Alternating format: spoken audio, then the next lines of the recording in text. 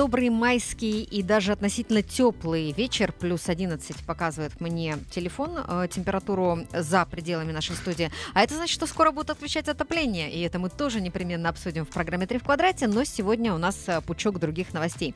В студии Большого радио для вас собрались Екатерина Гладышевская. Добрый вечер. В субботу, говорят, будут уже плюс 19. Ого. Угу. Это кто говорит? Э, коллеги. Ну, им, им, видимо, кто-то говорит, не знаю, гидромет или там приложение в телефоне, но кто-то им говорит. видите нашу эту трансляцию онлайн на сайте Большого радио или нашей группе ВКонтакте, то вы бы видели, что в этот момент Екатерина Гладышевская показывала на Максима Жиравина, который сидит рядом с ней. Всем привет и не обольщайтесь. За режиссерским пультом с нами Алексей Марин. Меня зовут Александра Козлова. Номер для ваших звонков, напомню, на всякий случай 450945. И номер для ваших сообщений которую можно написать в формате Viber, WhatsApp, SMS, Telegram 8 921 045 10 45. Итак, э, кстати, про отопление действительно, я думаю, что уже на следующей неделе будем разговаривать, потому что Петербург уже отключается угу. от отопления и заодно от горячей воды. Там все очень сразу. Ну, как снег прошел у них, этот да, ар- да, ар- арктический, который там от нас э, им доставался, так и, видимо, стали это... Слушайте, тепло в квартирах это, конечно, прекрасно, но вот у меня двушка, у меня получается над кроватью окно закрыто, но открыто в маленькой комнате, комнате открыто на кухне. Сквозняка нет вообще. То есть я в квартиру захожу, такое ощущение, что у меня плотно были закрыты окна. Представляй себе где-то на юге. Нет. Фантазию, Кать, включи. Солнце, но недостаточно солнца. Лампочку включи, глаза закрой, и ты на юге. Когда мы обсуждали температуру в нашей студии, которая, к слову, уже составляет 27,5 градусов, Екатерина, кажется, говорила, что очень комфортная среда обитания. Mm. Что а ж Максим, ты жалуешься, А Максим Екатерина? Бука сегодня? Ну что ж, э, э, перейдем к новостям, к серьезным от выяснения отношений кто кому Бука. Э, сегодня э, в ночь произошла э, одна из э, вернее, появилась на лентах информагентства одна из самых резонансных новостей. Плотненько пошли посадки по линии силового... Ну, это уже сериал практически, вот я да. бы так назвал это. А, потому что в ночь на сегодня, собственно, с понедельника на вторник, был арестован начальник главного управления кадров Минобороны Юрий Кузнецов. Что известно об этой ситуации? Он арестован по получению взятки в особо крупном размере. Это мы тоже где-то уже слышали. Об этом сообщает официальный представитель Следственного комитета Российской Федерации Слан Петренко. По данным следствия, взятку он получил примерно в 21-23 годах, или просто сумма была такая, что он получал ее по частям, угу. будучи начальником 8 управления Генштаба, который занимается вопросами защиты государственной тайны. А, что собрали журналисты на этот момент? Итак, о задержании сообщили правоохранительные органы и сообщили прямо сразу ночью. А, генерал-лейтенанта подозревают в получении взятки в особо крупном размере. По данным Следственного комитета, он заключен под стражей. Мы понимаем, что в ближайшее время его не выпустят никакого домашнего ареста. Угу. Следствие предполагает, что в 21-23 годах Кузнецов получил взятку от представителей коммерческой структуры за совершение определенных действий в их пользу. В чем конкретно они заключались, Следственный комитет, как всегда, не уточняет. Но что самое интересное, на рабочем месте и дома у Кузнецова прошли обыски, у генерала изъяли более более 100 миллионов рублей, в том числе в иностранной валюте, а также золотые монеты, коллекционные часы и предметы роскоши. Это получается, что 21-23 год это тоже в разработке, наверное, дело было, потому что говорят, что взяточные вот эти вот истории, они крайне долго расследуются, и очень сложно уличить э, человека в факте. А, буквально вот не так давно, незадолго до эфира пришли, пришли небольшие обновления. Mm-hmm. Вот ведомости сообщали, что Кузнецову вменяют взятку, которая связана с реконструкцией военного училища. Mm-hmm. А, и речь идет, насколько вот журналисты смогли выяснить, о Краснодарском военном училище имени Сергея Штеменко. Размер взятки при этом не уточняется. Ну да, ну вот э, как-то, я не знаю, вот а, чины, когда такие в таком э, размере, в особо крупном берут, неужели угу. они наивно полагают, работая в Минобороны, что их никто не схватит за руку? Да привыкает ко всему, Саша. Вот я привожу в пример всегда фильм, сейчас не вспомню на скидку, как он называется, а, когда главный герой попал в окружение, где вот в качестве игры они использовали такую штуку, что убивали потенциально больного, смертельно больного пациента, сами они врачи, угу. и таким образом, что никто не мог определить определить, каким образом человек по итогу умер. То есть все считали, что это естественная смерть. И фишка у них заключалась в том, чтобы каждый раз придумать вот что-то вот такое, что невозможно было раскрыть. Я к чему? Что главный герой, которого втянули в эту историю, сначала он с ужасом вообще, ну, когда он совершил это, это первое убийство, он с ужасом об этом думал, что он ходил по комнате, он говорил, меня сейчас поймают, он не спал, он выпивал. А когда он понимает, что его не поймали раз, то с каждым последующим разом это становилось делать проще. Мне кажется, что просто ну, люди в какой-то момент начинают чувствовать себя Такое ироничное, неприкасаемыми. ироничное наблюдение. Вот э,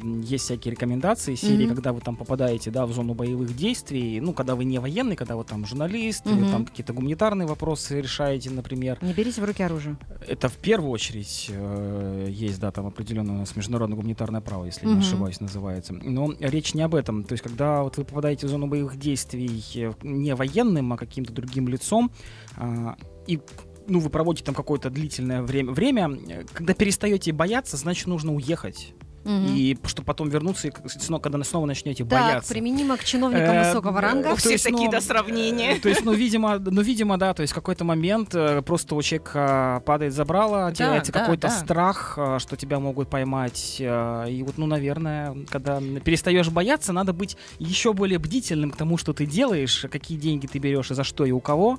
Иначе тебя могут в один самый, может быть, неподходящий, неожиданный для тебя В момент. ночь с понедельника э, на вторник. Как вариант, Как да. вариант, да. Поймать за руку и отправить за решетку. А, кто такой Юрий Кузнецов, о котором мы до этого момента ничего не слышали? такой? А, это человек, который с 2010 по 2023 год занимал должность начальника 8 управления Генштаба, который занимается вопросами защиты государственной тайны в рамках Министерства обороны. Я вот просто представляю себе, через какое количество проверок, в том числе на полиграфии, этот человек, по идее, должен бы, был бы проходить. А, В мае 2023 года он стал начальником Главного управления кадров Минобороны. А, Соответственно, э, сегодня карьера его э, прервалась. Очевидно, да. Да. Ну а в Минобороны, судя по всему, идут э, глубокие раскопки, потому что э, чиновники, да, то есть как бы у нас по линии МЧС предыдущая Мгм. была история, а теперь вот у нас Минобороны. То есть в силовом блоке копают и оглядываются, судя по всему, и я думаю, что это не последняя история, которую мы услышим в ближайшее время. Да, раз началось вот это все, то будет потихонечку наверняка все вытягиваться, вытягиваться. И каждый раз мы будем с вами удивляться, как можно, правда, находясь в таких чинах и вороча, с позволения сказать, э, такими деньгами. Как будто бы вот все вот это... Я понимаю, что вещи, когда у тебя в Министерство обороны назначают ну, э, экономического да, чиновника и производят чистки коррупционеров э, в рядах Министерства обороны, скорее всего, это не взаимосвязанные процессы, Мгм. вероятнее всего, но э, в комплексе на все это смотришь и выглядит так, как будто бы вот хотят как-то экономику этого ведомства поправить. То есть сначала убрать коррупционеров, которые деньги из ведомства воруют, Мгм. а потом поставить туда главу, который, собственно, с экономикой этого ведомства и разберется, потому что, ну вот мы вчера, кстати, в эфире обсуждали назначение Белоусова, да, Мгм. в качестве ми- министра Да. обороны, что одной из задач ему будет ставиться в том числе вот Аудит, грубо Аудит, говоря. грубо говоря, аудит, да, совершенно верно, то есть навести порядки а, с расходованием средств, контролем а, этих средств. То есть, ну, в этом смысле два параллельных процесса, ну, по идее, должны привести к какому-то позитивному результату. Да, но когда вчера стало известно о том, что Сергей Кужугетович не возглавит, не устоит, скажем так, да, во главе Министерства обороны, мне кажется, в этот момент все люди, которые занимаются политикой, интересуются политикой, а, которых так или иначе вот эта вся, а, как не, хочется назвать это сетью, но вся вот эта структура, на которых влияет, мне кажется, сделать, сделали так. Потому что э, решение очень неожиданное. То есть страна э, в СВО, страна переживает достаточно сложное время, и в этот момент меняется. Слушай, а я, обороны. вот, а я вот, а я вот не сказал бы, что оно было таким уж неожиданным, потому что, ну, напомним э, ситуацию с господином Пригожиным, да, когда он тут устроил чуть ли не военный переворот, и уже тогда, в общем-то, говорили, что как будто бы ну, ответственность министр должен какую-то понести. Мгм. то какая-то будет ответственность, в каком виде она будет представлена общественности. Ну, понятное дело, что э, Сергей Шойгу, да, наверное, не той величины человек, которого можно, там, не знаю, по утрате доверия отправить в Мгм. отставку, да, то есть, скорее всего, это вот такой вот тихий уход куда-то в сторону. То есть со счетов не списываем, да, но вот доверие как к военному чиновнику к нему могло быть э, подорвано, например, да, и мы его Мгм. тихонечко выводим из этой обоймы, э, не знаю, на скамейку запасных. Но при этом, возможно, ойкнули не только люди, которые имеют непосредственное отношение к политике, которые, как ты говоришь, Мгм. Саша, интересуются политикой, но и рядовые граждане, и военнослужащие. Я вчера об этом говорила, что мне несколько человек написали, что непонятно, чем аукнется вот эта вот смена, но поскольку люди неизвестно очень многим фамилия Белоусова, естественно, они с опаской относятся к тому, что происходит. У нас есть звонок. Добрый вечер. Добрый вечер, друзья мои. Давно Здравствуйте, Роман. слышал. Здравствуйте. Здравствуйте. Значит, мое сугубо личное впечатление об этих э, вещах, о Так. которых вы рассказываете. Э, значит, э, конкретно это звенья одной цепи. Причем двойные звенья, а может где-то и тройные. А что касается э, министра, Мгм. бывшего Шойгу. Э, Не просто так э, Владимир Владимирович вдруг взял и его перевел Мгм. на безопасность. Дело в том, что по-другому он поступить не мог только по одной причине. Э, Если еще будучи главой МЧС, Шойгу парился в одной бане с Путиным, если они с Путиным иногда прилетали к нам в края поохотиться, порыбалить Так. и прочее. Поэтому, э, увы, э, не- Шойгу это не, то, не та фигура, которую можно вот так же э, привлечь и прочее. Мгм. Поэтому здесь все понятно, мне, мне во всяком случае. Не знаю, может быть, э, я не прав. Но Роман, в любом случае, да, спасибо за ваше мнение. Всегда рада вам а, в нашем эфире. Э, да, кстати, про отпуск с президентом тоже очень многие вспоминали. а, и про то, что Мгм. есть, да, определенные люди, которые достаточно близки к президенту. И вот эм, Сергей Кужгетович среди Мгм. этих людей. А, ну, в общем, будем следить за развитием событий, так или иначе, в новостях. А между тем, э, назван самый популярный в России вид взятки. И это отнюдь не суперкрупные размеры. Размер большинства взяток, за которые россияне судили в 2023 году, не превышает 50 тысяч рублей, сообщает Скромненько, скромненько. Да чего же? Я вот... Нет, я бы отказалась, конечно же. По, по данным судебной статистики, по делам коррупционной направленности самым популярным размером взяток остаются суммы от 10 до 50 тысяч рублей. В прошлом году за такие суммы осудили э, более 5 тысяч человек, что составило четверть всех осужденных за коррупцию.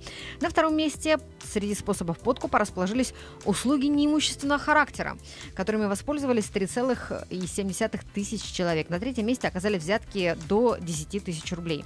Самым редким размером взятки оказались суммы до 500 рублей. Э, Я вот мне интересно, сажали и за такое? Ну, там, скорее всего, Да судебный штраф ли. какой-нибудь, я думаю, да, там вряд ли были посадки. Но на самом деле, очень много лет назад, ну, не очень много, но достаточно много лет, уже в моей профессиональной э, деятельности это точно, по крайней мере, было, э, кто-то из депутатов Государственной Думы э, тогдашнего созыва сказал, что нас, в общем-то, взяточников надо ловить там среди врачей и учителей, Мгм. потому что как раз-таки вот, я думаю, что где-то в этой сфере вот эти вот истории про 10 тысяч рублей, когда, Ты ну, еще то есть- шоколадки ну, Вот я ну тоже, да, да. медицинские ну да, перечитаешь. ну да, ну то есть, ну что-то, что там, что за взятка с де- 10 тысяч рублей? Что можно купить? Ну какую-нибудь там справку, да, какую-нибудь там печать, э, какие-то анализы, которые ты не хочешь сдавать. То есть, ну я думаю, что это вот Мелкая вот- бытовуха. Да, ну у, на- у нас же там эм, э, в- даже в Мурманске была история, когда там кофе, кофемашиной давали Да, да, да. взятку, а там Мгм. кофемашина, ну стоимость, ну там, ну, ну 50, да, ну 100 тысяч Как вот рублей, в случае с кофемашиной отличить взятку от подарка? Ну, это Э, вечно. Чиновник не может получать подарка в принципе, напомню, А. на всякий случай. Так что очень легко. Все приравнивается к взятке. То есть, если Ну, я не чиновник, И мне как- нужно дарить. И какой-то мзде, поэтому в этом смысле тут никаких не должно быть э, разночтений. Просто я когда смотрю вот такие новости, да, то есть там взятка от 10 до 50 тысяч рублей. Представляю себе, что кого-то посадили за взятку в 10 тысяч рублей, а вот сейчас э, высокие чиновники, у которых находят э, сотни миллионов. Ну да, там явно не И десятки. какие-то запредельные предметы роскоши, да, у кого там в прошлый раз находили какие-то часы, которые стоят просто как э, Как пожизненное проживание, да, как бюджет Мурманска Мгм. отдельно взятого города, да, или проживание многодетной семьи в течение всей жизни родителей и детей. Вот, поэтому, когда смотришь на такое, безусловно, становится грустно. Ну, как бы э, надо уметь э, отказываться Люба- от подарков, лю- лю- если вы чиновник. Любая взятка страшна. Я думаю, здесь э, такая тоже параллель, может быть, не очень прямая. Э, вот в ДТП гибнет э, больше людей, чем в авиакатастрофах, да. Но на ДТП там не обращают внимания, потому что их они там штучные, и их много размазано в целом на погоду. А в авиакатастрофе сразу и много. Также тут и со взятками, да. Когда вот эти вот мелкие по 10-50 тысяч рублей, на них никто внимания не обращает. Сколько там этих учителей и врачей Что ты за прицепился к учителям и к врачам? Мои слова, хочу напомнить. Слушай, а с другой стороны, вот вернемся к врачам все-таки, раз прицепился к ним Макс. Так. А, вот э, бывает же история, когда ты приходишь к доктору, и ты понимаешь, что доктор очень хороший. Просто потому, что тебя смотрят от и до досконально. Мгм. Просто Ну, потому что... по-человечески Да, тобой занимаются. этим, Более того, у меня, например, была история, когда кардиолог э, меня принимала, как бы, и, то есть, как бы говорила мне, вот вам мой номер телефона. Если вам вдруг не захорошеет, у вас есть опция позвонить или Мгм. написать, и как бы я... И у меня была история, когда поздно вечером мне реально не захорошело. И я, помаявшись, и понимаю, что мне либо сейчас я себя накручу и вызову скорую, Мгм. либо я напишу доктору. Она мне перезвонила, мы вместе пересчитали пульс, как бы там про, про, проговорили симптомы, и она ко мне приезжала. То есть как бы просто потому, что как бы она говорит, да говорит, вы моей дочке вот ровесница, говорит, а вот с сердцем такой швах. Не волнуйтесь, я сейчас приеду, я живу недалеко. И я вот думала, ну как-то человека же, ну надо Мгм. как-то отблагодарить, Мгм. да, то есть как бы чем-то, как-то. Не на рабочем месте. Ну вот не рабочем месте. Я не, ну, то есть, э, понятно, что когда мы говорим о чиновниках уровня, там, да, замминистра обороны, там, наверное, все-таки кто-то за ними следит, все проверяют, всякие декларации. Твою там коробку конфет или дорогого вкусного чая никто Мгм. проверять у врача не будет. Ты, главное, просто что не по- под камерами в фойе. Здравствуйте, вот да-да-да. вам за вашу работу. Вот это не передавая, а в каком-то там частном порядке пошли попили кофе, да, и вот вам простое мое человеческое спасибо. Ну, опять же, когда это спасибо, а не когда вот вам что-то, а вы мне за это что-то. То есть здесь, А как точно, еще должна же быть связь. прямая выгода. Друзья, Олег пишет, он соглашается с Максимом и говорит, что решение о замене Шойгу было очень, мягко говоря, ожидаемо. И что-то еще печатает, что печатаем, узнаем чуть позже. Олег, печатайте быстрее. Я просто скажу, что, судя по всему, для всех это было ожидаемо, а я что-то как-то удивилась. Ну и судя, опять же, по комментариям э, и в социальных сетях, и в СМИ, э, не я одна. Но вот, видимо, дальнозоркие вы у нас, Олег и Максим, что как-то это про- про ситуацию, да. Еще поговорим немножечко на криминальную тему, так сказать, в довершении а, обсуждения. За минувшие выходные и праздничные дни, имеются в виду майские, 21 северянин стал жертвой мошенников. Общая сумма составила 13,5 миллионов рублей, а точнее даже превысила. Я как человек, который не скромно скажу, каждый день, наверное, ну, либо пишет, либо читает новости э, вот подобного плана. 13,5 миллионов э, рублей за две недели, это очень скромно. Ни о чем, я бы сказал. Ну, если сравнивать с размером взяток некоторых То есть товарищей, порой, ну, порой- ни о порой чем. за сутки там может быть 6, 8, 10 миллионов, а тут за две недели 13,5. Ну, это так да, еще но скромненько, просто тут опять, скромненько. опять же пенсионеры. 68-летний мужчина связался со специалистами по инвестированию, куда вот вы зачем уже в непонятное влезаете и отдал общую сумму 5 миллионов рублей, даже больше. Вы только вдумайтесь, 5 миллионов рублей проинвестировал. Мгм. Таким же способом лишился своих сбережений еще один 61-летний житель Апатитов. Он перевел мошенникам более 2,5 миллионов рублей. Стать жертвой э, нехороших людей могла бы и 79-летняя жительница Ленинского округа Мурманска. При разговоре по телефону женщина поняла, что общается с мошенниками и не поддалась на провокацию. Молодец. Молодец. Вот смотрите, мужики, обратите внимание, вот не надо играться в инвестиции, будьте как бдительная да. жительница Ленинского округа. Ей 79, и она не повелась, в отличие от вот э, более молодых э, Когда и более если- богатых до этого Э, момента Когда и если я доживу до столь преклонного возраста, я обязательно пересмотрю этот эфир, Саша, и вниму твоим словам. Ой, там уже другие механизмы будут использоваться. Знаешь, нет, это, это важно. Есть такой э, сервис, ты можешь отправить письмо самому себе в будущее. Вот я рекомендую... Отложка из Да, телеграма. да, да, да, да. Ну вот отложка в Телеграме может не сработать, да, сколько там, мы 30 лет сейчас накинем, даже больше. А, а вот э, письмо дойдет, и представляешь, ты получишь его, ты уже забудешь про это 200 раз. Уже А- отдал все свои деньги мошенникам, а тут Да ладно. Хороша ложка к обеду. А, так же хороша, как реклама на Большом радио, которая будет для вас прямо сейчас. Телефон прямого эфира вы только что услышали. Я напомню, телефон для ваших смс-сообщений 8 921 045 10 45 а, в формате смс, а, Viber, WhatsApp или. А, Мы же сейчас перейдем плавненько к медицине. А, а все почему? Потому что сегодня министр здравоохранения Российской Федерации Михаил Мурашко очень оптимистично, на мой взгляд, оценил сроки решения проблемы кадрового дефицита в медицине. При Срок исполнения сохранении- завтра, я надеюсь. Почти. Практически, При да. сохранении тенденции, при которой врачей в системе здравоохранения придет работать больше, чем их будет уходить, а также при условии, что 100% обучающихся по целевому набору исполнят свои Мгм. обязательства и придут работать на 700 по окончанию вуза, то есть уже нереально Если бы. Если, если, Проблему если, да. кадрового дефицита в медицине теоретически можно решить за 5-6 лет, заявил кандидат на должность министра здравоохранения, а уже согласованный да, Мгм. Государственной Думой министр здравоохранения Российской Федерации Михаил Мурашко. Он пояснил, что в 2023 году в государственную систему здравоохранения врачей пришло работать больше на 20%, чем тех, кто ушел. Например, вышел на пенсию или уволился. Поэтому теоретически это закрытие кадрового дефицита занимает до 5-6 лет при условии стопроцентных целевиков, которые вернутся работать. А, На решение дефицита, проблемы дефицита кадрового, ка- медицинских сестер может уйти 4-5 лет. Давайте заглянем в цифры. Давайте. Как выяснилось, в 2023 году в России не хватало 26,5 тысяч врачей и 50 тысяч работников среднего медицинского персонала. Такие подсчеты приводились в пояснительной записке к законопроекту о предоставлении отсрочки от призыва на военную службу школьным учителям и медицинским работникам, которая опубликовалась в прошлом году. Соответственно, э, вот теперь давайте примерим на то, что происходит, э, слова господина Мурашко. По данным Минздрава, в 2022 году кадровый дефицит усилился. По сравнению с 2021 годом врачей стало меньше почти на полтора процента. А а это 37 врачей на 10 тысяч населения. Среднего персонала почти на 3 процента. Это 81 медработник на, соответственно, 10 тысяч населения.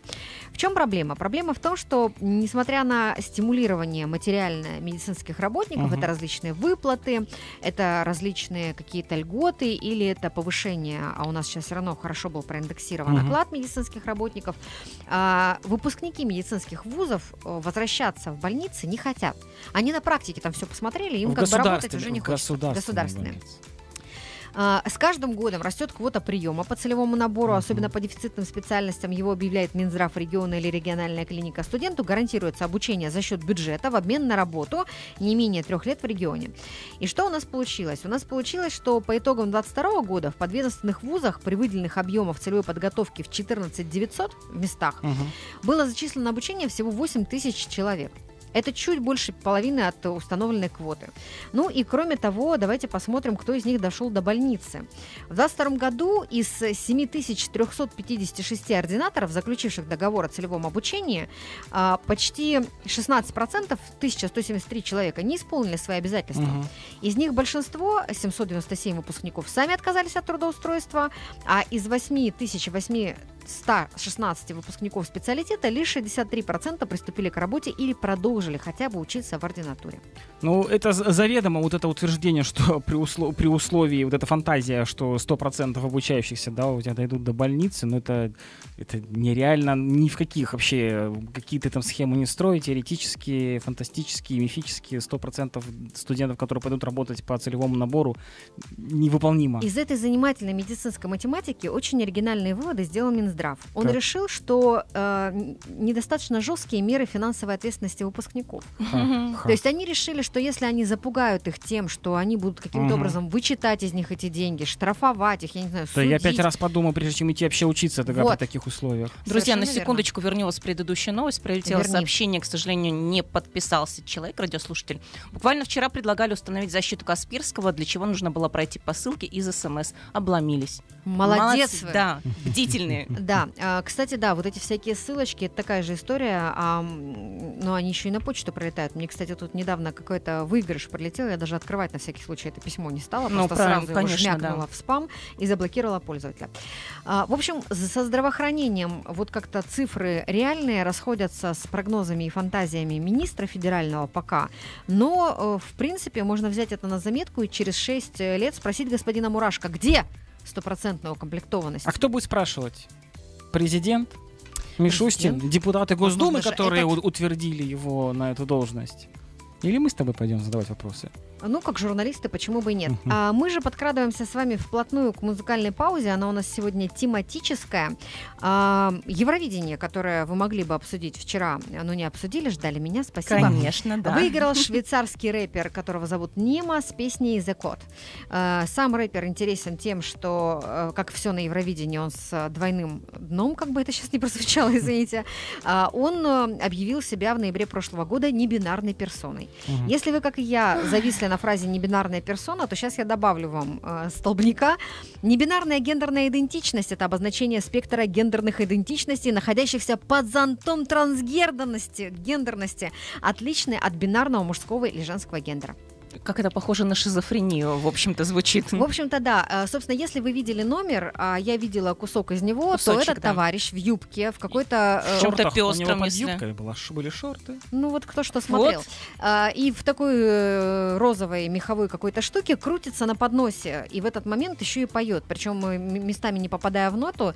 И ну, мне тяжело очень... ж крутиться Да, мне очень понравился комментарий, что это та самая посвистывающая сосиска в микроволновке, которая, вы знаете, когда вы ее поставили в микроволновку, она начинает пищать. Ну, действительно было очень похоже. Но, э, тем не менее, двумя скандалами обозначился товарищ. Во-первых, своей непонятной половой принадлежностью, не по костюму, не по самоопределению. И второе, тем, что он грохнул главный приз Евровидения об, сц- об сцену сразу, когда получил. Ну, видно, руки у него дрожали, ладошки Ну, переволновался человек, да. Переволновался. Знали и, бы вы, сколько раз били, гнули и грохали кубки там, в футболе, в хоккее. Я испугалась, что они, ты про ладошки сейчас как-то пошутишь. Ладошки. Ну, в них, понимаешь, кубки-то еще и наливают всего вот этого, чего только не. Поэтому неудивительно. А здесь человек вышел на сцену после того, как э, вот э, исполнил композицию, прославился на всю Европу. Ну, в общем, вот э, Евровидение, которое в этом году прошло мимо Российской Федерации, причем мимо во всех отношениях, не участвовали, не транслировали, не смотрели, так, не голосовали. Слава Богу. Возможно, потому что один из участников Евровидения был э, снят, дисквалифицирован моментально с э, конкурса за то, что показал угрожающий знак э, женщине-оператору, которая его снимала, э, и как бы, соответственно, был снят с, с процесса, чуть не сказала, с производства. Ну, а что же мы с вами послушаем э, и почему? А, двум исполнителям удалось победить на конкурсе дважды, ирландцу э, Джонни Логану и шведке Ларин, которая побеждала на Евровидении 2012 и Евровидении 2023. Зовут ее на самом деле Ларине Зинеп Нора Талхуай. А, на открытии первого полуфинала конкурса песни Евровидения прозвучала песня «Юфория». Причем и в первый раз она звучала в сопровождении хора слабослышащих, а сама направленность музыкальная, в которой все это исполняется, называется «Йога Дэнс». Именно эту музыкальную композицию мы сегодня послушаем не по поводу открытия Пензенской фабрики пианино в 1559 году, а по случаю 14 мая 2013 года, когда в шведском городе Мальме прошел первый полуфинал этого конкурса. Слушаем Ларины эйфорию. Итак, о том, кто какие взятки дает, кто какие взятки берет, и даже о том, что за это бывает, мы уже успели поговорить. А, продолжим читать новости. 8 921 045 10 45 номер для ваших сообщений, 45 09 45 номер для ваших звонков. Стало известно, кто в России чаще берет займы до зарплаты. И Явно это... не замминистра обороны. Не сильно дальновидная в финансовом плане, товарищи. Мужчины, оформляющие займы до зарплаты до 30 тысяч рублей на срок до одного месяца с единоразовой выплатой, чаще всего являются самозанятыми. Вот такая интересная выборка. А женщины, которые берут э, займы до зарплаты, чаще всего бывают продавцами. Об этом говорится в исследовании микрофинансовой организации, которым располагает газета «Ру». До какой зарплаты берут э, займы самозанятые, подчеркиваю это слово, мужчины? Слушай, ну э, самозанятые же сейчас могут иметь постоянный доход который... Зар... Они получают зарплату. Это ну... там, ну, выручка, прибыль, как, как это можно назвать? До получения, до получения выручки, ладно тебе, не, не, не прицепляйся к формулировкам. Продавцы 12% тоже. заемщиков уже... до зарплаты среди мужчин работают в тяжелой промышленности, в строительстве, 11% с небольшим продавцами, а 9,3% строителями. Еще 8,3% это IT-специалисты, которые берут короткие займы. Реже обращаются за ними финансисты, работники сферы туризма. А что касается женщин, то среди выбирающих займы до зарплаты наиболее распространены страна профессия продавца 21,4% таковых берут короткие займы. Также среди заемщиц на короткие дистанции самозанятые 12,5%, а также работницы легкой пищевой промышленности почти 8%. Другие часто встречающиеся профессии это медики, госслужащие. В то же время лишь немногие заемщицы заняты в сфере туризма. Туризм, я смотрю, прибыльная сфера, откуда люди не идут за микрокредитом. Да, вот. мне кажется, это больше скорее какая-то вот такая вот э, заметка из серии любопытства, чем какая-то реальная связь между вот, профессией человека и то, как он обращается в микрозаймовые организации. Вот в эпоху, э, в эпоху того, как у нас развились, э, развились кредитные карты угу. у банков, и то, какие условия порой там предлагают, мне, честно говоря, вообще непонятно существование такого феномена, как микрозайм, учитывая суммы, которые там предлагают. Ну, то есть ты гораздо, ну, то есть гораздо проще и выгоднее и безопаснее, наверное, в каком-то смысле э, иметь в, да, в данном контексте кредитную карту, да, где ты можешь там взять тот же микрозайм там до каких-то там сумм не очень больших, и просто потом у тебя будет комфортные условия по возврату этих денежных средств, чем вляпаться в историю с этими микрофинансовыми организациями, которые потом из тебя всю душу вытрясят, и долг у тебя там по 500% в день будет Да, капать. но ты же понимаешь, что если человек с плохой кредитной историей, э, который не может э, даже вообще мечтать о кредитной карте, уж тем более о каких-то шоколадных условиях по этой карте, то, конечно, чтобы не связываться с банком, ему кажется проще, безопаснее и легче дойти до микрофинансовой организации, которая у нас сейчас, к счастью, их стало меньше, а до этого они были на каждом углу, даже на в остановке, павильонах везде, в остановке, да. зайти туда и взять там легкие деньги, деньги быстро. Да. То есть сказал- самозанятые мужики крайне плохо живут, да? Что с плохой кредитной историей, что у них остается только микрозаймы. Причем работают там в тяжелой промышленности, да, Да, и да, в да. туризме. Э, Я не то, чтобы у меня какая-то очень богатая, конечно, кредитная история, но мне кажется, сейчас, блин, в какой банк не зайди в мобильное приложение, там у тебя вот такой вот баннер будет висеть, вам там предодобрена кредитная карта, нажмите в два клика, и у вас там все, значит, будет Не, получено. ну если ты без пяти минут э, выпу- выпустившийся студент, и у тебя, в принципе, непонятно, есть ли у тебя работа, нет работы, то, наверное, да, кредит получить не так просто до сих пор. Но, по Так крайней мере, я кредит слышала об кредитная этом. карта — это разные вещи. Так, а кто одобрит кредитную карту человеку, который непонятно вообще работает или не работает? Без и- понятия. Да, ну, плюс, Макс, я уверена, что банки, делая предложения, вот э, эти Мгм. кредитные определенные там условия или что-то, они анализируют, тем более, что сейчас Они Просто- анализируют твои А, траты. Да, огромное количество механизмов, в том числе с использованием каких-то э, нейросетей, которые анализируют твои траты и вообще вот движение денег у Мгм. тебя на карте, а возможно даже не на одной. И исходя из этого, как бы понимаю, что ты, да, надежный человек, у тебя капает каждый месяц определенная сумма, и ты еще что-то откладываешь, еще гасишь кредит или ипотеку, и у тебя еще остается, почему бы не предложить тебе еще и кредит на какие-нибудь шалости, на отпуск, например. Ну да, а одобрять человеку, у которого вообще непонятно, отдаст он Это или не копейки до отдаст, да, в копейки, банке да. тоже не дураки работают. Ладно. Все, уговорили? Но вообще, да, в- в- на всякий случай напоминаем вам, как с историями с, мошенником, а, с мошенниками, что если вы вдруг рискнете, что лучше не надо, но если вы вдруг рискнете, внимательно читайте все, что написано мелким шрифтом, со сносками и под У звездочкой. мошенников ничего не написано мелким шрифтом, и звездочек никаких нет. Что, и бейджика я мошенник? Даже такого. Ну и если Катя предыдущую новость назвала такой легкой новостью, просто с информацией какой-то интересной, то э, что она скажет про следующую? Инфляцию в России на начало мая оценили с помощью мармелада. А я ничего не поняла, я сразу скажу. Это занимательная экономика. Э, Для Я, блондинок. я сегодня за. Петра Болычева буду работать э, и скажу, что это просто красивое название вот этой всей методики к мармеладу ничего какого-то никакого отношения не имеющее. Эх, с 4 по 11 мая 2024 года индекс мишек вырос на а, 1,1%. А, так как недели и ранее он снижался на 2,7%, то есть инфляция в России немного ускорилась. И все это на примере мармелада. Это произошло, кстати, во многом из-за повышения цен на морковь, которая подорожала почти на 14%. Мне Рассказал газете скрежещет в голове. А, морковь, мармелад, Мишки, да, инфляция. А, Адрес индекса заведующей лабораторией анализа институтов и финансовых рынков президентской академии Александр Абрамов. Чем занимается в президентской академии? Мармеладных мишек считают. За неделю э, подешевел лишь один товар из 14 куриные яйца. Однако за неделю подорожала морковь. В индексе цены учитываются без скидок. Стоимость остальных продуктов в индексе осталась без изменения. Итак, что такое корзина индекса мишек? Мгм. Она состоит из 14 популярных продуктовых товаров, э, конфет, мармеладных мишек, э, фрутелла и мишки косолапы. Отсюда, собственно, название индекс мишек. Апельсинового сока, причем не абы какого именно J7, самого дешевого белого хлеба, моркови, бананов, сельди матиас, молока домик в деревне, масло подсолнечного олейна, самые бюджетные куриные тушки, э, чая Акбар, масло сливочного простоквашино и плавленого сыра фетакса. Очень, вот максимально странный подбор продуктов. Согласна, да. Максимально странный. Мало того, что, то есть, ну, вы берете самую бюджетную куриную тушку, Зато но, J7 но у нас. J7 не самый бюджетный Ага. сок. И мишки фрутелла не самые дешевые мармеладные мишки можно. И Акбарта, в общем-то, тоже сай, Да, са- и, чай не, да и не масло самый. подсолнечное можно найти И- подешевле. И, Мгм. и молоко э, э, домик Да. в деревне тоже не самое дешевое. То есть почему они выбрали эти продукты? Почему именно эти? Почему именно этих брендов? То есть, Этот если- вопрос можно было бы задать э, Александру? Заведующим лабораторией из президентской академии, но как бы вот э, что, собственно, за что купили, за то и продаем. В апреле 2024 года так называемый индекс Мишек вырос на 11,2% по сравнению с логичным периодом прошлого года. Показатель в марте также составлял 11%, 1,2%.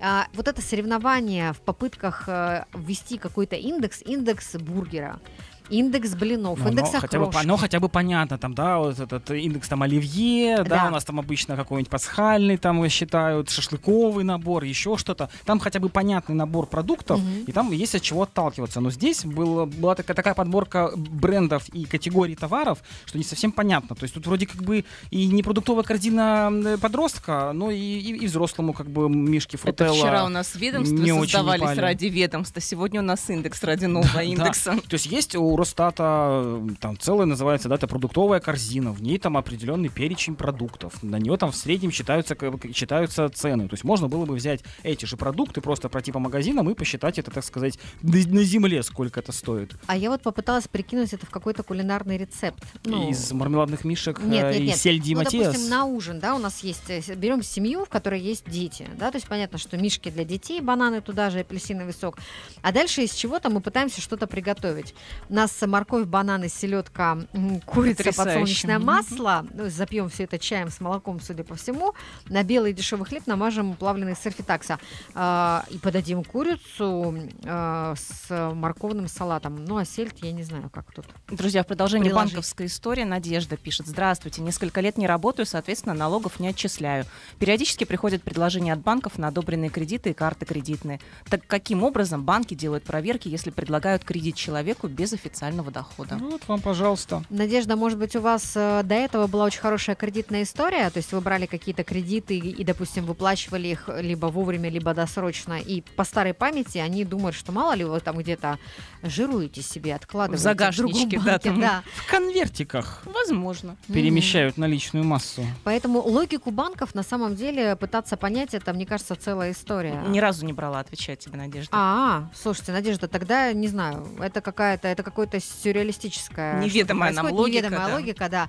Не берите на всякий случай, держитесь. А Вот. А, а вообще, э, да, у меня была история, когда мне звонили из банка и сказали, вы закрыли карточку два года назад, не хотите ли открыть ее обратно? Вы были таким хорошим, э, Мгм. надежным, значит, э, а я как раз брала карту, на которую только переводила кредит за телефон. Это был один и единственный мой кредит, кроме ипотеки, поэтому... Значит, прям четенько в даты переводила. Четенько, конечно, Мгм. потому что я тряслась, как осиновый, э, как заячий хвост, э, как осиновый лист, хотел Я сказать. тоже но очень боюсь тех просрочек. Да, вот. А что у нас еще подорожало? А, ни одного выпуска без еды, да. Бизнес-ланчи в России подорожали более чем на 7%. Стоимость э, такого обеда в городах-миллионников в апреле выросла на 7,9% до 395 рублей. По сравнению с тем же периодом за 2021 год э, рост составил уже 38%. Мгм. Сильнее всего за год бизнес-ланчи подорожали в Новосибирске, в Ростове-на-Дону и Перми. В Москве и Санкт-Петербурге рост составил 5,9 и 9,2% соответственно.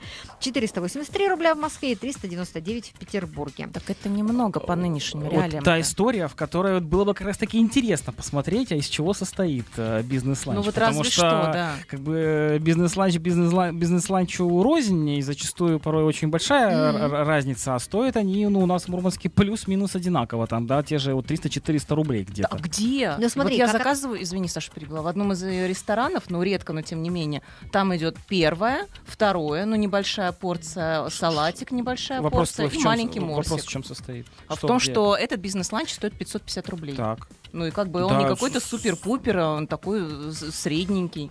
А тут вот такие вот ценники для городов-миллионников. Я где-то Кать, ну не там заказываю. Ну, опять же, надо понимать, да, того, что город-миллионник, это совершенно не обязывает того к тому, что там было что-то дорого. Там большая конкуренция, там много заведений, и они между собой как-то А, соревнуются. наоборот. И плюс надо понимать тоже, да, ну, тебе могут положить там пол котлетки, а могут положить, извини меня, ну, две котлеты, например, да, то есть, ну, они и по порциям могут быть разные, из разных продуктов, я почему и говорю. Ну, что тут это, согласна, Что да. как бы мы, вот мы предыдущий, значит, индекс Мишек об- обсуждали, да, очень странный набор продуктов, А вот здесь бы как раз хотелось посмотреть на детализацию, с чего состоят эти э, бизнес-ланчи, чем там кормят, в каком объеме.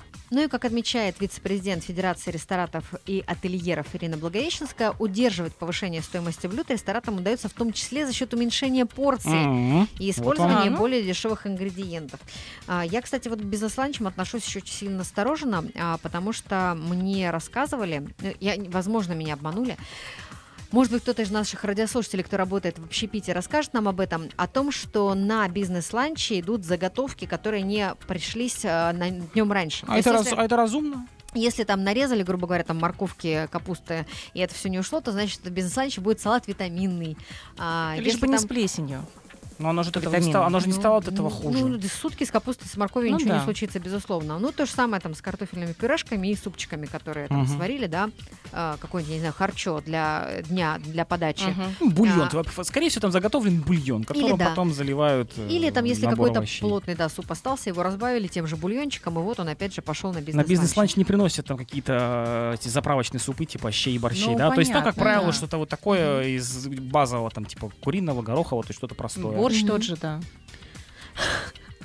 Кать, ты молодец. Макс только что сказал, не приносят, ты с ним согласилась, сказала, борщ тот же. Естественно. Но на самом деле с, с борщом же есть волшебная история с заправкой, поэтому тут все решается, ну. которая готовая, протушенная, Мгм. очень хорошая, протушенная, в смысле слова тушеная, а не протухшая, которая заправляется любой мясной бульон, э, нарезается картошечка, если вы едите борщ с картошечкой, вот вам уже готовый легкий борщ.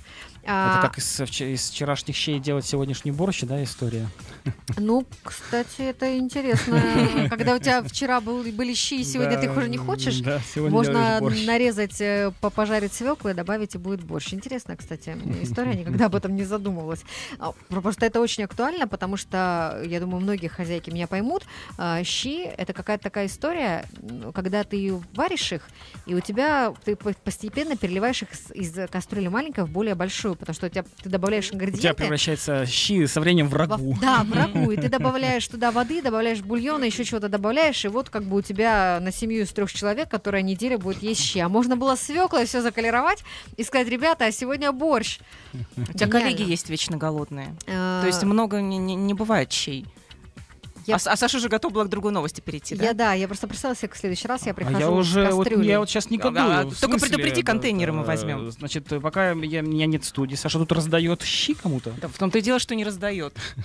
Они у нее пропадают. А тут, понимаешь, взаимовыгодное сотрудничество, Екатерина, так сказать, получается. вы очень много говорите. Было, было, было, было дело, да. Было дело, когда Было. Екатерина получила персонально в лоточке, сложенное именно для Катеньки, азу, Один азу из говядины раз. с солеными огурчиками и перловой идеально сваренной Вкусно было, кашей. да, да. Но так давно, что я почти забыла этот волшебный вкус. Вот э, с этого стоило начинать. Тебе нужно было просто сказать про то, что давай повторим. А ты как-то вот все а, это а мо- можно было проще, да? Можно было проще. Можно было сказать, завтра у меня ничего нет из еды, у нас с тобой эфир, давай как-то сконнектимся. Бизнес-ланч домашнего производства. Надо Ну, подготовиться, да.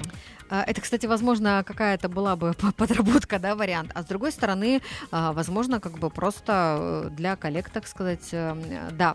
Ну, сейчас для наших радиослушателей прозвучит реклама на Большом радио, потом мы все-таки расскажем вам о том, в каких городах подешевела вторичка. Итак, давайте глянем с высока на рынок недвижимости. Названы города России с наиболее подешевевшей вторичкой. В 19 крупных городах России за месяц снизились цены на жилье на вторичном рынке. Локации с наиболее подешевевшей недвижимостью назвали аналитики федерального агентства, а, о чем, собственно, и сообщает нам а, РИА Новости. А, Среди городов, э, которых э, стоимость готовых квартир по итогам апреля уменьшилась, Ростов-на-Дону, Ленинградская область, причем там несколько городов на Мгм. 2% относительно марта. По одному проценту потеряли в цене квартиры в Архангельске, Магнитогорске и Кирове. В Москве это тип жити- жить- житья. Жилья подешевел на 0,7%, в Подмосковье на 0,5%, в Петербурге на 0,3%. А, на самом деле тут все очень просто. Где жилье строится, там вторичка и дешевее. Ну, Безусловно. логично, да? Ну и напротив, недвижимость на вторичном рынке подорожала в 47 исследованных городах. Наибольший рост цен наблюдался в Сочи на 6% за месяц. В среднем по России стоимость квадратного метра готовых квартир за указанный период увеличилась на 0,6% до 113 тысяч рублей. При этом в четырех городах стоимость осталась неизменной. Мне вот интересно, вот, кстати, предпочтение людей. А, если бы не брать цену, не брать стоимость, не брать э, период ожидания, люди брали бы э, вторичку или э, новостройки? Когда-то, мне кажется, когда-то было модно брать квартиры в новостройках. Mm-hmm. Ну, потому что новое, да, новое. сразу все Никто свежее. до тебя не жил. Но у нас люди, хочется мне верить, и я думаю, это так и есть, умнеют со временем. И, наверное, мало кто захочет э, заезжать э, в 50-этажный дом, который стоит в поле, а кругом ничего. И, наверное, в этом смысле человек будет отдавать предпочтение вторичному жилью, когда у тебя вокруг уже есть инфраструктура какая-то, там с магазинами, с социальными какими-то да, учреждениями, э, и не надо сбрасывать со счетов и там социальные связи в том числе, Мгм. то есть там друзья, знакомые, родственники, кто Ну, у тебя где Макс, живет. а если этот э, дом, например, 55-го года постройки, с тех самых пор там не менялись коммуникации? Что ты от меня хочешь? Я, ну, я, Чтобы я ты тебе поменял просто- коммуникации? Чтобы я да. поняла коммуникации? Я тебе объясняю, как думает человек. Ну, человек, вот я понимаю, что как бы я бы, в общем-то, может быть, и купила бы а, во вторичке, но я понимаю, что нужно вкладываться там в водоснабжение, в эти, как они называются, скажите мне, в электрику, еще Мгм. куда-то. А после покупки квартиры у меня таких средств не останется. И, соответственно, ты либо живешь и ждешь, когда у тебя труба это рванет, У меня для тебя Как на совет, у меня для, меня- бочке. у меня для тебя совет, который сравнит твоему вопросу. Просто разбогатей. спасибо. А у меня тут э, был интересный разговор на майские праздники с риэлтором в Петербурге. И вы знаете, какой самый популярный вопрос, просто он в топ-3 входит, который задают ри- риэлторам в Петербурге при продаже квартир в историческом центре. Так. Ну, попробуйте. Что там с коммуникациями? Ну, это да, безусловно. Ну, там, когда была замена, все прочее.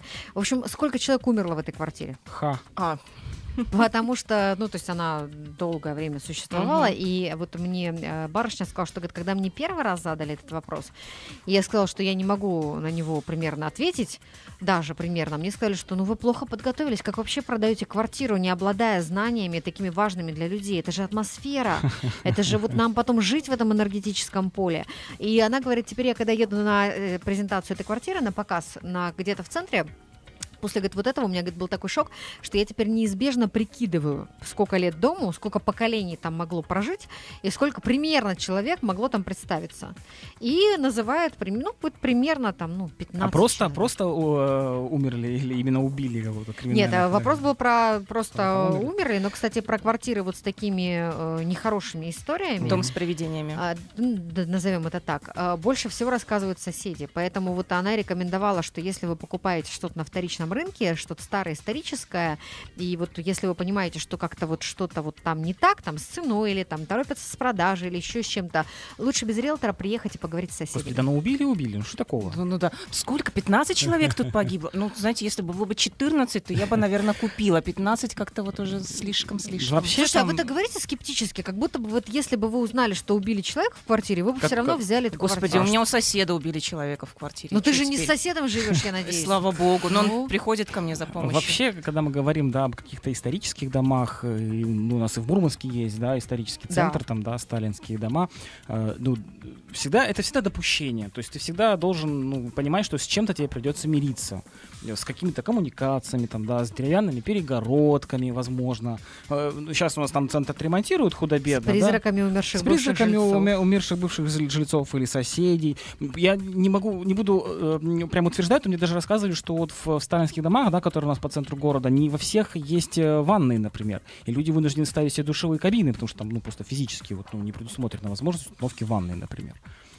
И Да тоже- не, не может быть. Зависли Подождите, не может быть, эти же дома, они же строились уже когда, и они, особенно те, которые капитанские, они сдавались там с паркетом, шелковым абажуром Ну в да. обязательном порядке и всем прочим, что без ванны, не верю я в такое. В баню? Я думаю, что это, скорее всего, возможно, там была какая-то перепланировка из разряда уплотнения, Мгм. и вот теперь там не воткнуть э, э, ванну, а как бы поставлен душевой уголок. Вот это возможно. Там была четырехкомнатная квартира. Ее разбили на, там, не знаю, две двушки. И где-то- где- вот где-то не ванна стало, есть, а да. где-то ванны Мгм. не стало. А, Поэтому так. А что касается, когда ты заговорил про вот старые дома, типа сталинские, там все прочее, а, учитывая с, э, ж- э, год постройки хрущевок, там уже Мгм. тоже в анамнезе могут быть какие-то призраки. Ну, а то и, да, и не один. Не, мне Поэтому- кажется, что везде практически кто-то да умирал. Поэтому... Что вы так зацепились за умирающих? Да, я не, нет, а, ты, а видишь людей вообще волнует этот вопрос, раз они задают его риэлторам. Люди а ты вот, а ты равнодушен к этому. Ну, Я пока а только, кому-то от- интересно, я только пока от одного источника, это через старые руки услышу, что оказывается людей это волнует. Это ценный, достоверный источник информации. Давай сразу оговоримся на берегу. А, Продолжая темы а, продажи, покупки квартиры и, возможно, неизбежного в связи с этим ремонта, а, в России цены на стройматериалы могут вырасти к июлю на 10-15%. Кстати, весьма ощутимая цифра. Мгм. А, Об этом рассказали а, в Федеральном комбинате стеновых материалов изданию «Известия». А Традиционно пик спроса на основные материалы для строительства домов приходится на июль-август. Объем предложения в этот период начинает резко сокращаться, что приводит к росту цен. Если не поддерживать баланс спроса и предложения, регулирование цен, есть риск возникновения дефицита наиболее востребованных строительных материалов, объяснил эксперт журналистам. Он отметил, что в этом году спрос на строительные материалы будет очень высоким еще и потому, что необходимо восстановление домов, пострадавших от паводков, так и рекордным спросом на земельные участки под индивидуальное жилищное строительство. Э, Наш э, горячо любимый э, Петр Болучев ментально подключается ко мне и врывается в эфир и чревовещает, да, связь. через, меня. Э, Два месяца назад еще эксперты прогнозировали, что, в общем-то, в текущем строительном сезоне э, строительные, собственно, материалы подорожают. И если вы что-то хотите вдруг делать, заранее об этом подумайте, потому что потом, а, подорожает, и, б, возможно, вы еще и не все найдете, что хотите, Да. потому что дефицит возникнет. Мгм. Эксперты говорят о том, что в первую очередь цены могут подняться на древесину, цемент, газоблоки, а также кирпичи и материалы для отделки фасадов домов. Я, кстати, тут, э, когда прочитала историю с восстановлением, подумала, что же у нас, что же у нас там в Оренбургской области. И вот э, открыла новости региональные, уральские, и выяснила, что более двух тысяч домов в Оренбургской области по-прежнему затоплены. Мгм. А, Если быть точными, чуть больше 2100 домов все еще находятся в зоне затопления. Большая часть из них ра- расположена в Оренбурге или в Оренбургском районе. При этом от воды освободилось 28 300 жилых построек и 46 963 приусадебных участков. Но я думаю, там все-таки это уже, да, история не про то, что у вас дом по крышу залит водой, э, ну, скорее всего, вода все-таки уровень воды Да. снижался, Ну да. да. но, тем не менее, жилище так или, ну, непригодны все еще Да, для а, того, чтобы в них э, пребывать, поэтому... Более того, как вот говорят, всего просушено э, 9011 домовладений и 176 многоквартирных домов. А, После схода воды обработано 28 304 дома и выгребные ямы, которые Мгм. на дачных участках есть. Проводится дератизация, а, санация всего этого. На пострадавших от паводка территориях возобновлена подача электричества, восстановлено газоснабжение, а, откачано больше миллиона 857 тысяч кубометров воды. Ну, то есть до, нача... до того момента, когда к этим домам можно будет подступиться, чтобы начать их восстанавливать и вести какие-то строительно-ремонтные работы, еще, видимо, м, времени прилично пройдет, э, Если пока не Повезет, просохнут. и лето будет жаркое, да, и вот оно Мгм. начнется, грубо говоря, вот Вот, завтра. Вот, мгм. Да, то как бы, конечно, процесс пойдет быстрее, но вот когда э, все же видели, да, эти видео и в Телеграм, Ну, и в социальных сетях, когда люди заходили, и просто вот эта грязная вода, которая убила все, то есть вся мебель, вся электроника, это не просто ремонт, да, это не переклейка обоев. Мы же понимаем, что еще там размокли бревна, там где-то что-то повредилось. Одежда, в Ну, конце заново концов, ну, строить в какой-то всё- степени. имущество. Да, то есть это реконструкция дома Мгм. полностью, да, где-то И там полное с его разбором. оснащение. И Да, полное его да. оснащение. Это как бы сумасшедшие деньги. эм, А учитывая, а, как мы, когда все это началось в Оренбурге, смотрели с вами выплаты, да, которые там 10 тысяч рублей предполагались на человека, а, выплаты А я, махал табли- а, я мах- а я махал табличкой страхование имущества. Да, Мак- жилья». Ма- Макс напоминал про страхование имущества и жилья. э, Ну, то есть это все, конечно, прямо вот... э, Эксперты обращают внимание тех, кто планирует в этом году строить дом, особенно если с привлечением кредитных средств. Здесь, кстати, идет уже речь о каких-то индивидуальных жилых Мгм. постройках, да, не- мы не трогаем уже зону паводка. Это, например, свой дом в Арктике, если Мгм. кто-то успел получить Мгм. участок и будет строить, то в смете на строительство нужно предусмотреть вероятность роста цен на основные строительные материалы. Иначе есть риски того, что денег не хватит и будут нарушены обязательства перед банком, обращает внимание эксперт. Обязательства по срокам строительства и передачи готового объекта в залог, уточнил он. По прогнозам экспертов, цены на основные строительные материалы начнут активнее расти после снятия во всех регионах ограничений по движению а, большегрузного транспорта из-за весенней распутицы. Ну, соответственно, после Мгм. этого у нас э, обозначится какой-то рост. Так что, если вы задумали а, построить какой-то домик, э, то вот... эм, Так а у нас-то еще и логистику надо брать во внимание. Да. Пока сюда довезешь, и сколько это будет стоить. Тут к стоимости строительных материалов нужно еще и транспортные расходы тоже учитывать. Надо квартирку застраховать. Я что-то платила, платила какое-то время, сейчас срок закончился, надо заново от греха подальше.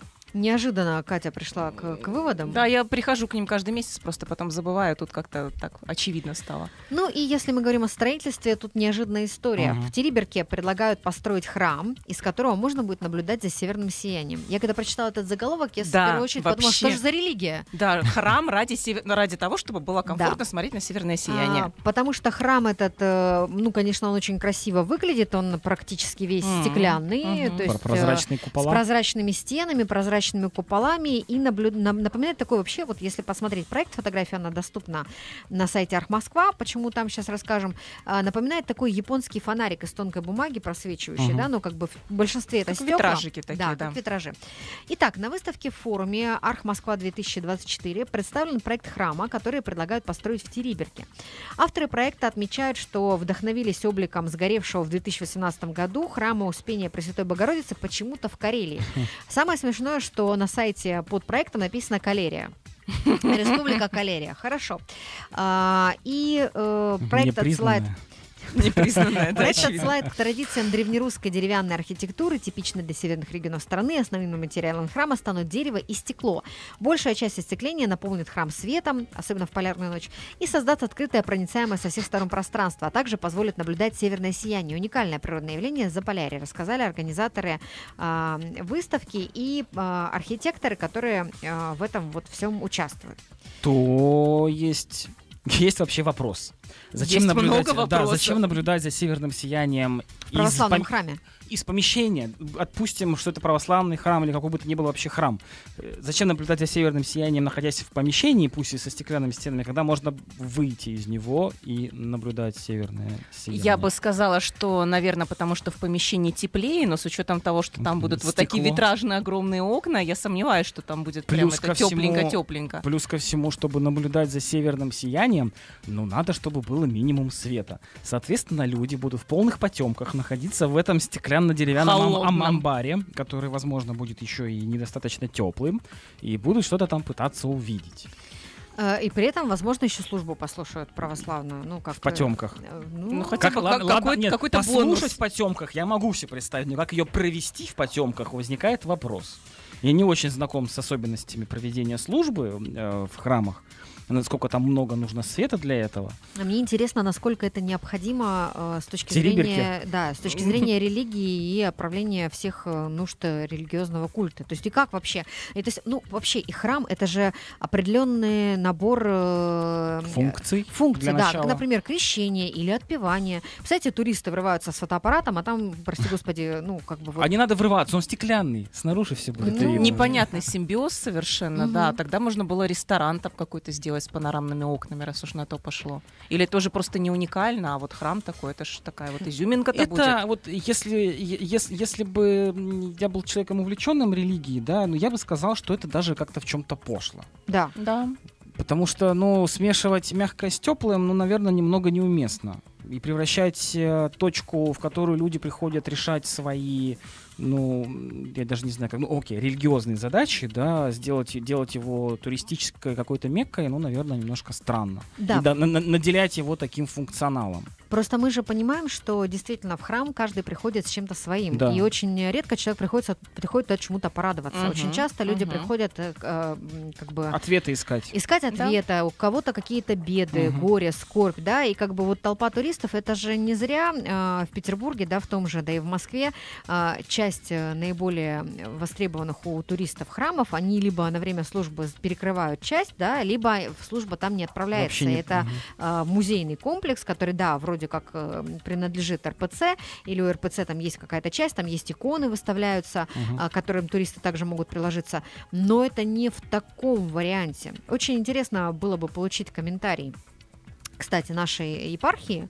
а, Мурманская, Мончегорская по этому поводу, что ожидать, выделен ли уже участок, а, когда запланировано строительство, и главное, учитывая красоту, сколько же стоит будет этот э, проект? Честно говоря, не верю в жизнеспособность. То есть пока что это, это, это даже не концепция и не проект, это фантазия, мечта и красивые картинки. Да, фантазия, мечта и красивые картинки, но, кстати, э, вот нечто похожее, а именно стеклянный храм, вернее, часовню, я видела в Армении. Э, Причем этот э, храм, он на каком-то таком перегоне, то есть посреди вот этих взгорьев и гор, Мгм. проходит дорога, очень ветрено, и вот там на камушках стоит абсолютно стеклянная прозрачная часовня. Я когда ее первый раз увидела из машины, мы ехали, я глаза протерла, потому что я не могла поверить, что вот такое нано Какое э, не архитектурное произведение может... а, Но самое интересное, что до нее нужно достаточно долго идти, и когда мы достаточно долго до нее шли и дошли, мы обнаружили, что она закрыта на замок, потому что, ну, это не очень с точки зрения вандализма устойчивое сооружение. Ну, логично. Поэтому вот все, что из стекла и дерева планируется именно с большим посещением количества людей, вызывает сомнения. Картинка очень красивая, рекомендуем посмотреть. Сегодня об этом писали очень многие а, региональные СМИ. А, вам же мы прямо сейчас предложим рекламу на Большом радио. А теперь предложим вам заглянуть в лето. В Мурманской области готовятся к летней оздоровительной кампании, которая охватит более 17 тысяч школьников. При этом дети из семей участников специальной военной операции имеют первоочередное право на получение путевок в оздоровительное учреждение. Бесплатно путевки также будут предоставлены детям, находящимся в трудной жизненной ситуации, и школьникам с 5 по 8 классы в рамках федеральной программы «Дети Арктики». Для детей организуют различные формы занятости, походы, экспедиции, творческие активные площадки во дворах. Кроме того, в этом году при поддержке Мурманской области для 350 детей из Приморского района будут организованы путевки в оздоровительные учреждения. Кто-нибудь из вас когда-нибудь ходил в детский какой-нибудь школьный лагерь? Да, я и в школьный ходил, и не в школьный, но в- при, при как бы организованный со стороны школы. Ездил в детские лагеря. И как тебе? Да, разной степени паршивости. Был один очень классный, очень классный лагерь. Отправляли как-то детей из Мурманской области в Ростовскую область. Шикарно совершенно провел время. ну, потому что было. прям смена климата, Дело конечно. даже не в климате, это был такой м, лагерь типа для юных лидеров. Он такой весь был очень молодежный, с молодыми во- вожатыми. Я не то и- чтобы сейчас хвастаюсь, просто вспоминаю. Абсолютно, да. Вот. То есть, ну там была ор- организация такая, не, ну, знаешь, не кондовая, Ага. не, не ханжинская, не совковая. Было все довольно прикольно. А ездил в Ленинградскую область, там было отвратительно совершенно. Вот именно из-за того, что вот такой прям, прям классический, со строгой воспитательницей, где вы там позавтракали, коктейли попили, зарядку сделали, и вот... и- почистили и- и- отбой. Да. А ты, Саш, мне как-то вот не приходилось. Слушай, я тоже счастливый ребенок. Меня э, в, в середине мая в каждом году отправляли э, в деревню к бабушке и забирали в середине сентября. А Из-за этого были определенные коммуникационные проблемы в школе, но вот именно э, вот истории с детскими лагерями я вот как-то не хлебнула вообще ни разу, и не жалею об этом совершенно. Потому что у меня летом была вообще отдельная другая жизнь. И поэтому до сих пор вспоминаю с удовольствием и думаю о том, как это вот круто все-таки лето в деревне. Но вот тоже встречаю людей, у которых о некоторых поездках в лагерь прям очень крутые воспоминания, особенно у северных детей, которые впервые выехали, например, в Артек. Вот я только хотела сказать, да, вот где-нибудь на юг, где солнышко, тепло, море. Да, ну и то, о чем говорит Макс, э, можно классно провести время и в школьном лагере, если там Мгм. хорошие организаторы, хорошие педагоги. Этим летом э, в муниципалитетах Мурманской области на базе школ будут работать 67 лагерей дневного пребывания. Открытие запланировано на 29 мая. Более 5,5 тысяч детей смогут отдохнуть за пределами Мурманской области, а более 11,5 тысяч детей на территории региона. Об этом сообщила министр образования и науки Мурманской области Диана Кузнецова. При организации летнего отдыха за пределами региона основной акцент сделан на выезд детей на Черноморское побережье Краснодарского края. На начало летней оздоровительной кампании закуплено 4700 путевок за счет федерального областного бюджета. 1700 путевок для детей с ограниченными возможностями здоровья, находящихся в трудной жизненной ситуации.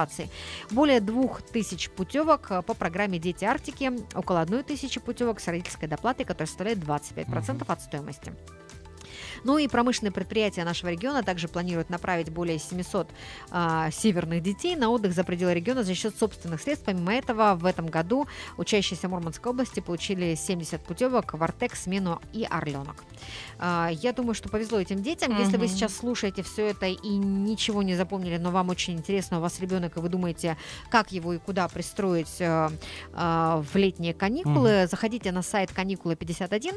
А, Это сайт э, подконтрольный Министерству образования и науки Мгм. Мурманской области, на котором выложены все лагеря. Их можно сортировать по э, пониманию, как э, вашем, что есть в вашем муниципалитете. Что касается лагерей федеральных, то там можно посмотреть полный пакет документов и полную информацию о том, как упаковать ребенка в этот лагерь. Ты так все рассказала, что мне самой захотелось. Захотелось в лагерь туда. съездить. Да. А, Слушай, а мне каждый раз, когда я читаю про детские лагеря, вспоминается история, которую рассказывала моя мама, когда она э, поехала, вот как раз там класс 5-6, их первый раз вывезли куда-то э, в- прям на юг, на юг. И они попали на сбор черешни.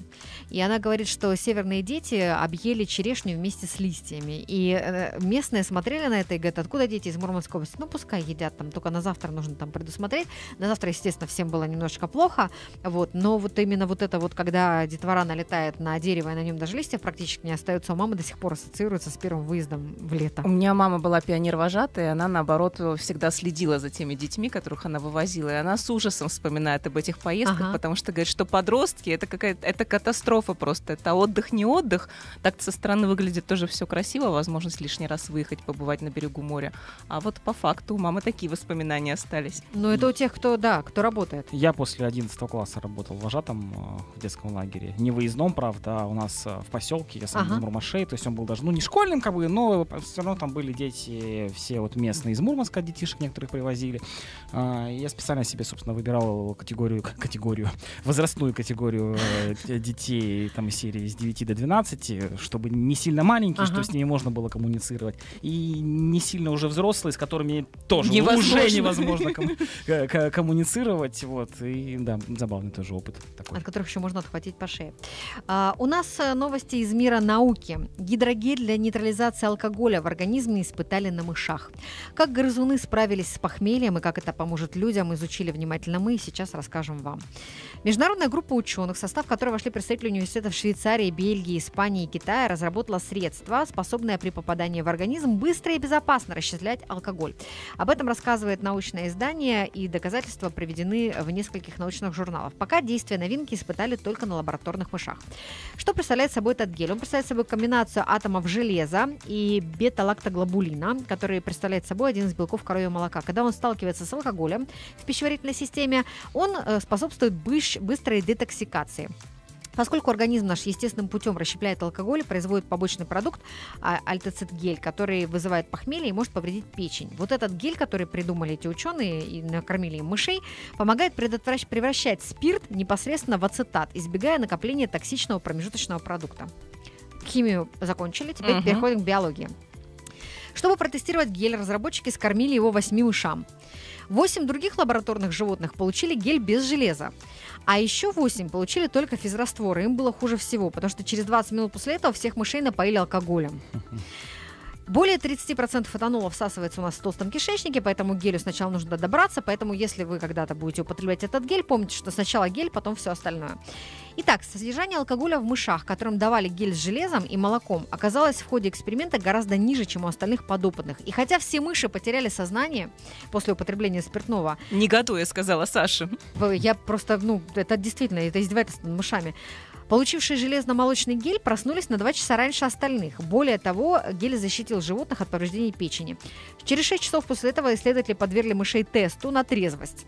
А, В водном лабиринте мыши, съевшие железно-молочный гель, плавали быстрее и эффективнее искали выход, чем сородичи, которым давали только молочный гель или физраствор.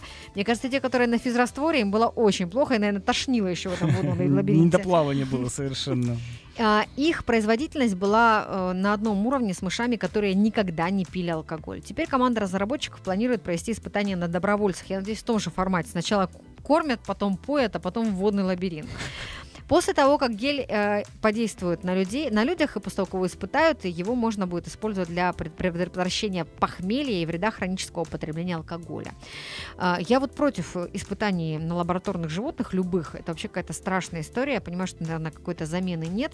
Но история, когда вот э, такие вещи тестируют э, на мышках, это, конечно, с одной стороны забавно, с другой стороны мышей жалко. Чтобы ты, чтобы, ты, чтобы ты не страдала от похмелья, кто-то же должен за тебя пострадать. Вот те восемь мышей, Вот которых сначала восемь. дали физраствор. А представьте, мыши, то есть вот компания, да, э, Мышей. мышей, да. Компания мышей. То есть, ну, подождите, вот их кучка, да, их поделили на три части. Так, Они смотрят друг на друга, вроде бы одним одно и то же дают, да, этим гель, этим гель, этим тоже что-то похожее. А им же никто не сказал, что это мыши, это физраствор, сейчас вам будет хорошо, потом будет плохо.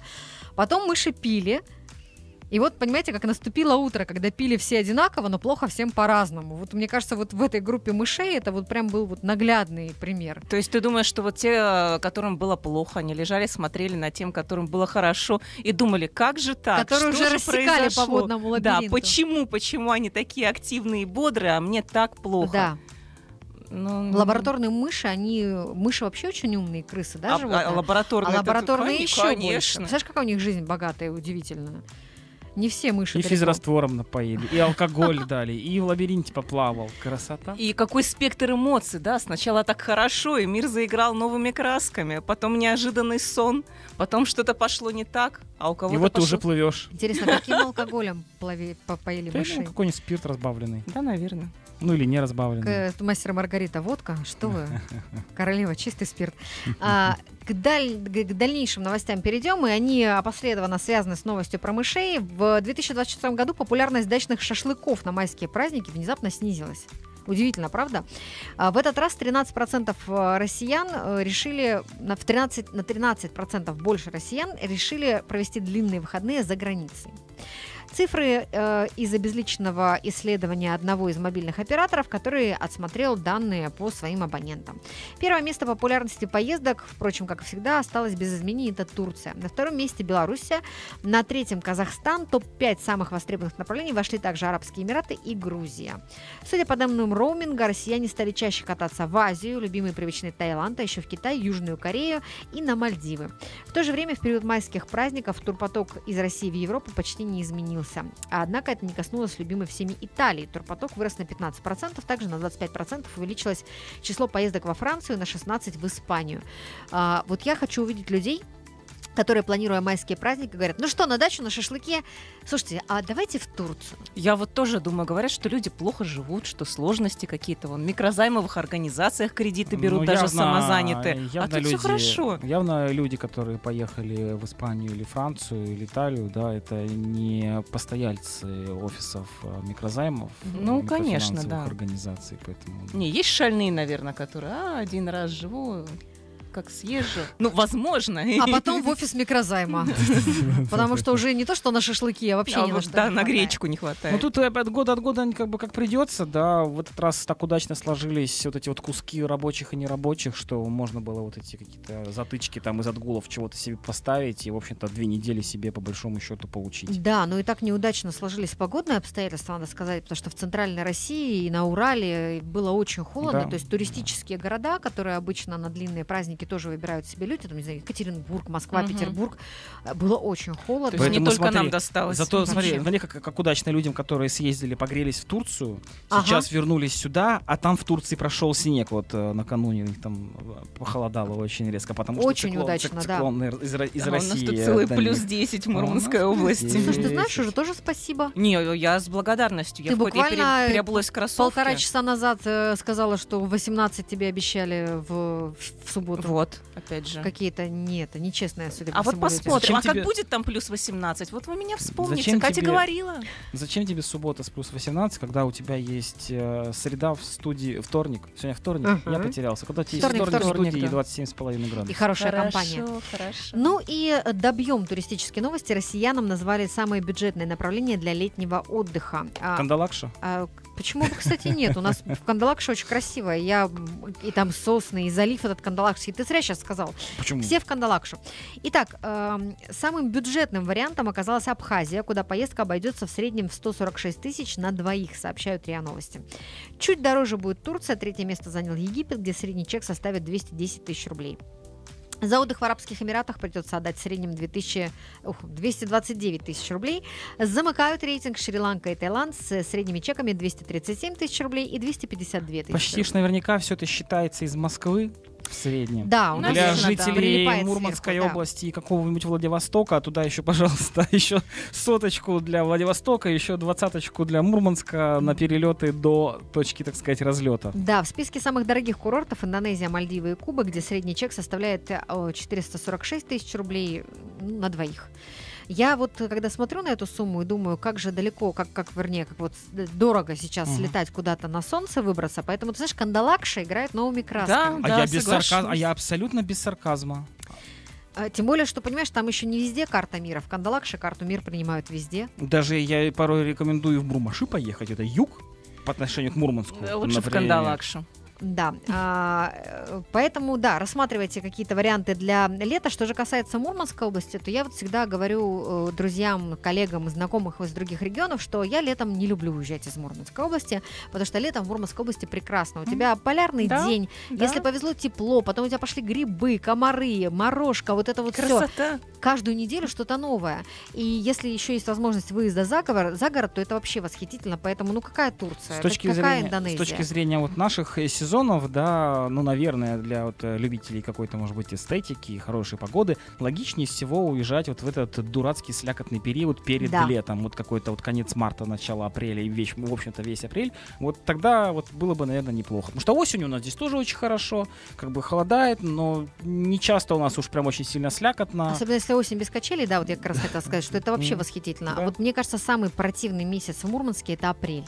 Вот это просто как бы что-то чудовищно отвратительное. Поэтому вот э, вырваться из Мурманской области на апрель, а потом провести здесь чудесное лето, почему бы и нет? Э, зак- Значит, э, где-то надо с конца марта и по начало мая просто на въезде в регион вешать замок, все уехали на, пля- на пляж. И, Ну, Единственное, что в мае не очень выгодно брать отпуск по деньгам, потому что вот месяцы же, где у нас получается, в январе и в мае. А, в январе и в мае, то есть те месяцы, когда у тебя Мы в большое апреле количество... собрались ехать. Ну, сейчас Мы к маю вернемся. а, а, да? А, все нормально тогда, все. И просто перезимуем майские выходные в Мурманске, и как бы все Всё на, дач- на даче с шашлыками. Да, да, да, на даче с шашлыками и с, э, с насморком, возможно, потому что все-таки зима, фу, весна в этом году везде холодная, но в Мурманской области она особенно. Как-то Катя, да. э, для тебя специально давай заглянем в прогноз погоды и Вот ты посмотрим. сейчас сердцем не разобьешь, да? Я уже готова к этому. Давай. Во-первых, Катюш, я начну с того, что у нас тут 15 мая погоду Кольского полуострова по-прежнему будет определять э, периферия активного циклона, э, который к нам идет, э, и ожидается небольшой дождь. Завтра, кстати, он обещается более такой усиленный и уверенный, чем сегодня. Сегодня там так смочило с утра. Покапало. Я как-то пропустила даже. Несерьезно Тем более. совершенно. Температура воздуха в дневные часы плюс 9, плюс 14. А вот я тебе хочу сказать, что, например, в четверг Так. а, температура воздуха понизится. И если днем это будет еще плюс 9, еще куда ни шло, то вечером и ночью это будет всего лишь плюс 1. Так, с субботы-то что? А, Что касается субботы, э, то мы, во-первых, помним, что это долгосрочный прогноз, который э, не очень хорошо сбывается. А, Давай, но, давай, давай менее, уже. Да. А Что у нас обещают синоптики на субботу? Катя, да, но уже не плюс 19, уже плюс 17. А я тебе обещаю, что когда мы Вот. заглянем то в четверг, там будет всего лишь плюс 15. Не факт. Вечером плюс 7, Катя, и дождь. 90% дождя в течение всего, Катя, дня. Есть ли у тебя, Катя, резиновые сапоги и зонтик? Есть. Ну вот отлично. Подготовь это э, к субботе. Я думаю, что В все это сапогах- тебе В пригодится. сапогах, э, шортах и Ой, в шортах сегодня, кстати, молодого человека, э, когда на эфир шла, видела. Первого пока в сезоне. Первая ласточка в Да-да-да. шортах. Ну что ж, мы же завершаем этот эфир. Обещаем вернуться к вам завтра. Сегодня с вами были Екатерина Гладышевская, Теплого, недождливого вам вечера. Максим Жиравин. всем пока. Меня зовут Александра Козлова. Я по традиции желаю вам исключительно хороших новостей. И, как, как, э, люблю это говорить, повторяю, что если вы в течение дня не читали новости, то вам достаточно просто в 17.30 включить большое радио, а, программу «Три в квадрате» и узнать все самое интересное за день, а то и за неделю. Мы же расстаемся с вами ненадолго, оставляем вам Алексея Марина, который поставит вам ваши любимые, самые интересные, самые замечательные песни, потому что других у него просто не бывает. Хорошего всем вечера, пока.